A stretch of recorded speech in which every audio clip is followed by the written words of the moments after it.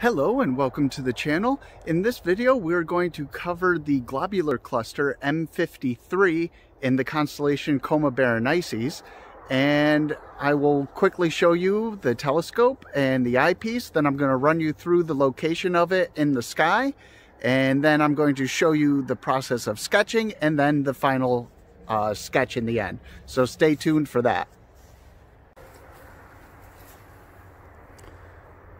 There's the telescope all set up, pointing at M53 in Coma Berenices.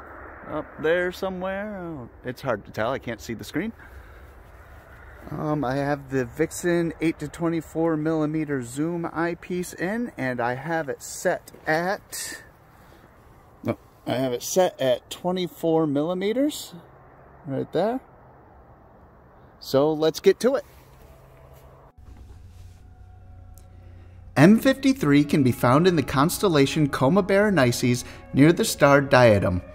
This globular cluster has an apparent magnitude of 7.7, while Diadem is quite a bit brighter at 4.3. M53 lies 58,000 light years from Earth. Globular clusters are older and larger than open clusters, and while this globular cluster does contain old stars, it also appears to have a more than average number of younger blue stars.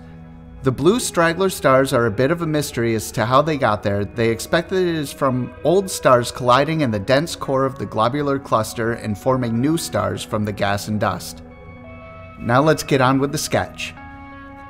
I started off the sketch by spending a bit of time looking through the eyepiece, checking out the view of the cluster, and getting an idea of the placement of stars that weren't part of M53. I noticed that there weren't too many stray stars from the globular cluster, and all of them were relatively compact in the cluster. As usual, I started off by marking off all the stars in the field of view with an HB pencil. I then used my blending stump to create the glowing haze given off by the brightness of the dense core with a 4B pencil. After that, I used the stippling technique to place the stars in the cluster, I did a bit of double checking to make sure I didn't miss anything and marked where north and west was, and that's another successful sketch. So this is the final drawing after bringing it into GIMP, inverting, adjusting the color a bit, and adding the information around the image. I was quite happy with this final sketch, and think the final results came out better than my M3 sketch a few weeks ago did. As I said at the beginning of this video, I did this with my 8-inch Celestron SCT and my Vixen 8-24mm zoom eyepiece at 24mm, which got me a magnification of about 85x.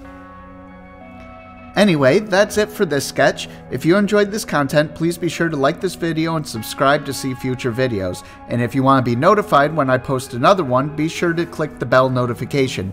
Thank you very much for watching, and I'll see you on the next video.